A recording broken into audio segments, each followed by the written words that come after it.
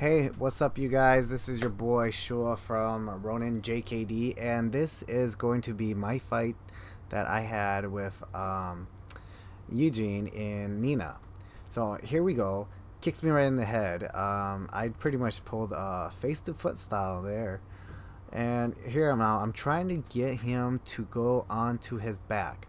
So I'm trying to flip him over, but of course he's not going to give that up at all. So I'm pretty much just now kind of feeling him what he's going to do. Uh, throw roundhouse, he backs up. Now I have to get his rhythm down. He is moving a lot. He's constantly moving up and down with his hands. He's throwing hard kicks because he's full of energy right now. You know, he's just the beginning of the fight. And right there, he kicks me in the cup. So as he kicked me in the cup, I pretty much go back to my corner and uh, you don't actually see it, but I was, I was actually out for a minute and 30 seconds.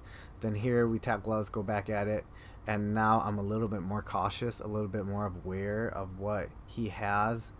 I throw a roundhouse and a spinning heel kick, which miss because he moved out of the way. And he does a flying Superman punch, which kind of didn't work on me. But um, now here I'm trying to keep his hips away because he's trying to knee me, just like that. So I'm using my hand to keep his hips away, which his knees weren't really doing much damage, but um, I push him away finally, and then I'm still moving, trying to pick up his rhythm, pick up his his beat, pretty much his timing, and I'm feeling him. He lands a roundhouse on me. I return one right back, and then still same thing. I do a hook kick with the front leg and I got a front kick to the chest. And then here, feeling him, but then um, as he jabbed, I jabbed at the same time, or I crossed. Um, pushed him away with his my hand, and uh, cross, uh, roundhouse, spinning hook kick that missed, and dodging punches. He kicks me pretty hard on that one and kind of moves me back. Now I'm still trying to pick up his rhythm, still trying to slow him down because he still has a lot of energy. So I'm very calm. I, I'm not going to commit to something right now because it might cost me since he's still pretty strong. So I'm still just seeing what he has, and I know well, as time goes on, with all the stuff he's throwing at me, he's probably going to get gassed out. He's going to slow down a bit. And here, I hit him with a cross and then a hook. And so he knows I'm, I can exchange. And then I kick him. As time runs out, I do a spinning heel kick and hooks him in the face. And then I'm warmed up. I'm a lot warmed up now. And the ref pretty much jumps in because time went off. Second round, I'm a lot more warmed up. I kind of picked him up I'm slowly, slowly reading his moves now because he's just kind of moving. He's not attacking as much as he did in the first round.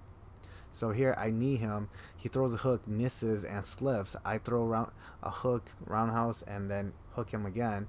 I do a super flying man punch, which landed. He does a spinning heel kick, which misses. And then I kind of tell him to come forward and let's bang again. Then I do that, that hook kick, and then I jab and finally land it.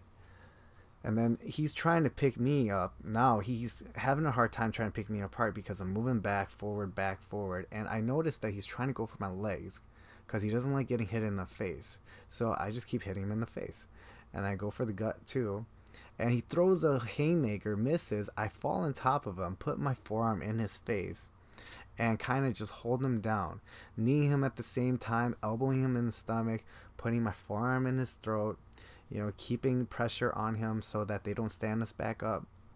But I'm I'm pretty much just laying on top of him, putting weight on him so it's uncomfortable and making him gas out that way. And knee him in the gut.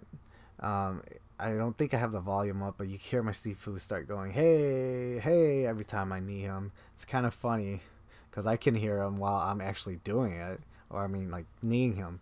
But um, here, my forearm's still in his face. I'm applying pressure, putting weight on him. I don't want him to roll. So I'm really holding on to him and just trying to stay in good position. Uh, here is a good position for me.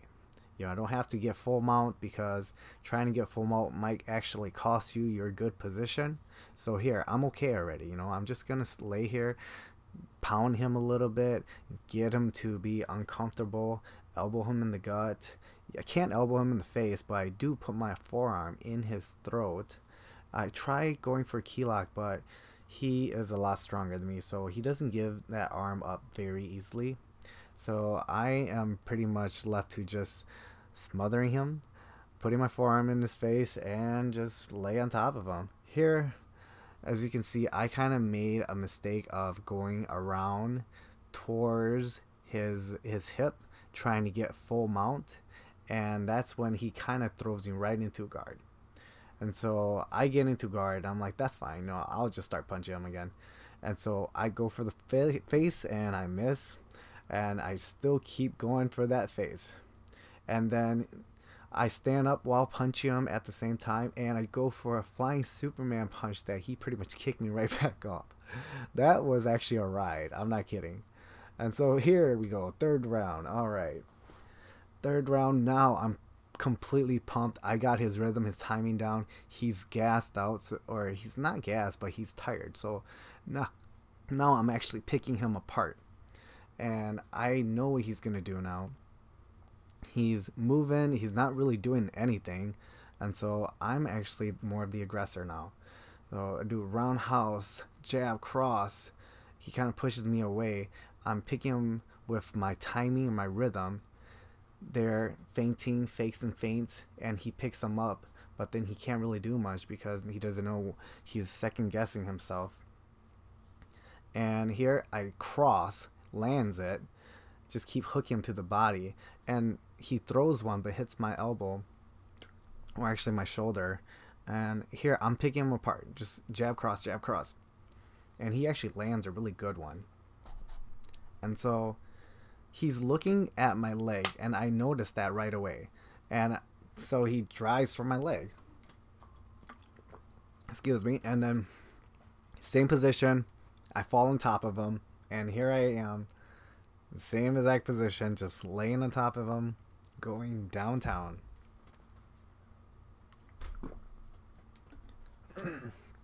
Trying to make it uncomfortable for him as much as I can.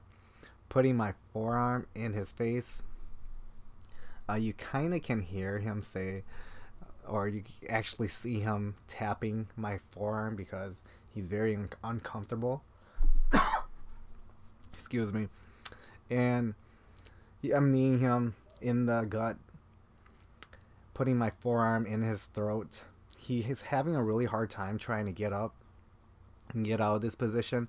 I am 10 pounds lighter than him, but I do know how to apply pressure and weight on someone. So uh, I noticed that he was trying to get the cage, which I understood why, because he was going to try to use the cage to his advantage, but I scooted him back a little bit.